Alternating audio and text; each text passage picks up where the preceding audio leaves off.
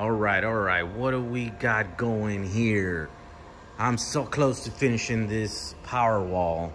Uh, of course, that's those those are gonna go over here, right? But what's happening here? Well, finally, I was able to get all of these battery packs uh, assembled as battery packs, right? Uh, I paired up uh, four of these. Well, actually, two in in parallel. Right? Oh my God! What is this? Why is that? Oh, hold on. Let me just see where that is. There we go. So there's two packs here in uh, parallel, connected in parallel, and then I paralleled all the uh, sense, you know, the voltage sense units. I on most of these, like this one here, I took off the BMS, but in some, I just left them on. Like in this case where they didn't have that conformal 40, uh, uh, conformal, uh, what is it called? Uh, whatever that goo that is on here, the coating, right? Uh, conformal coating. I think that's uh, what it's called.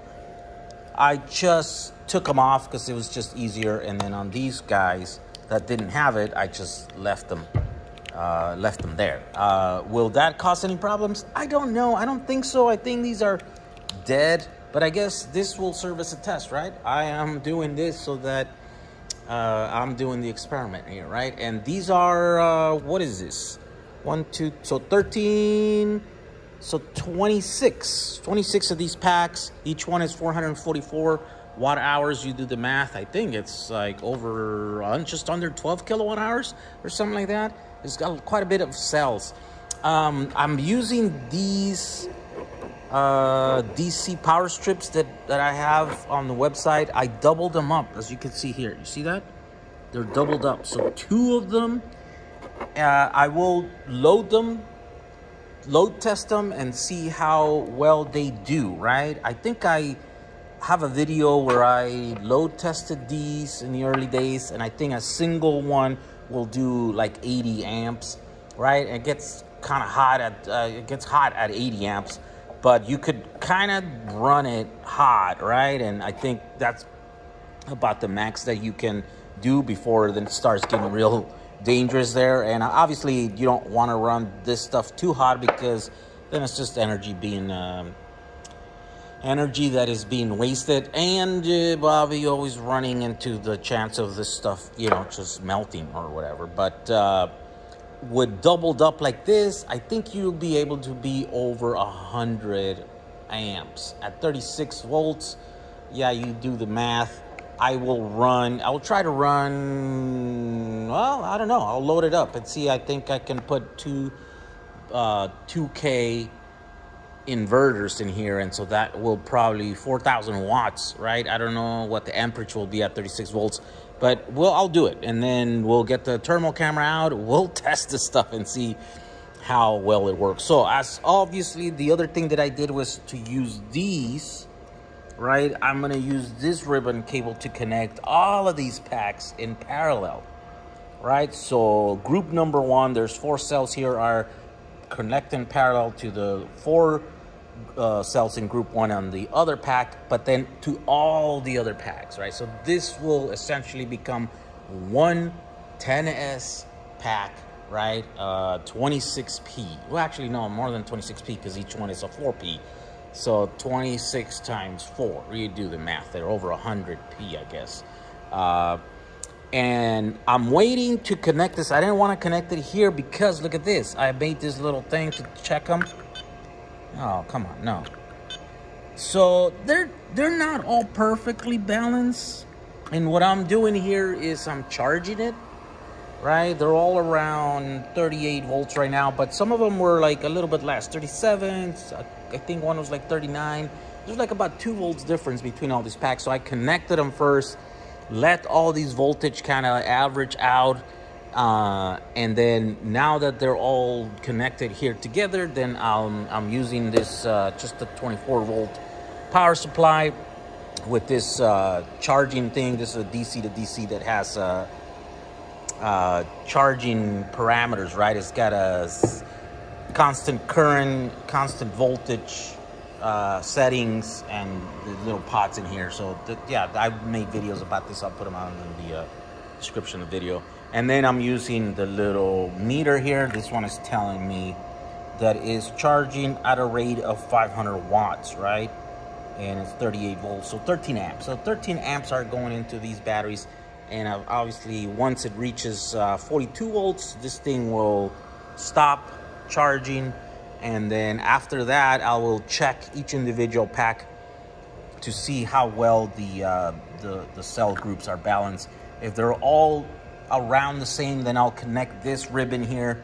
Then I'll connect these two to the ribbon, and then you know, if depending what where the average group ends up, then I'll decide to do uh, like a balancing thing because these this this can balance here, right? And then after that, We'll put these all in a uh, box here, and then I'll go over the BMS. Uh, do I know which BMS I'm gonna use? Let me see here. I think, yes, I think I'm gonna use just a little BMS, something like this.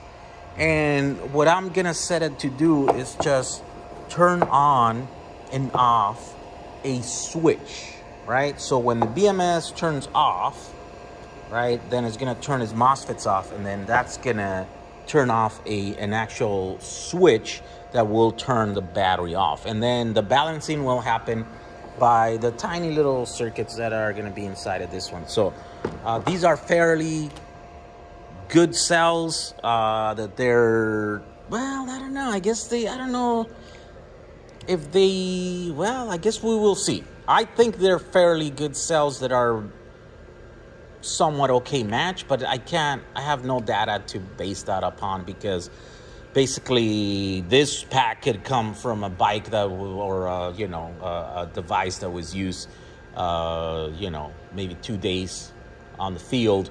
Uh, this one, maybe that device was used six months on the field, right? So I don't, I don't know. I guess I, I have uh, the numbers here that I could look up and see uh, what batch numbers, you know, data manufacturer, all that stuff. But uh, I'm like, that almost seems like too much work.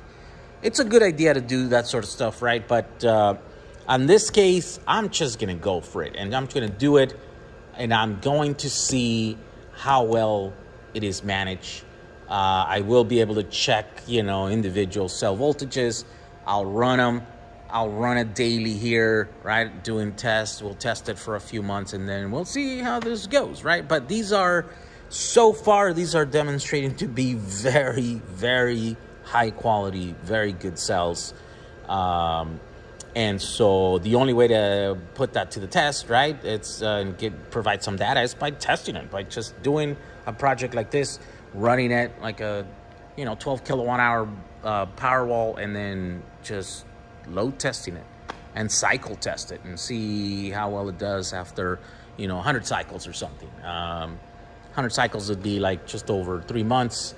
Uh, yeah, that would be awesome to to do. Uh, and so that's that's what's gonna happen here. I'm gonna have, uh, you know, as you know, I made the the custom box here, uh, and hopefully I'm gonna show you. I, don't know if I'm gonna show you the whole thing about the, how I made this box, but maybe I'll just do like a graphic. Here's what you do. Here are the measurements. You buy a sheet of aluminum, you cut it, and then you do that. And, you know, I don't know. I think I'm to concentrate more in the fact that uh, what this this means, you know.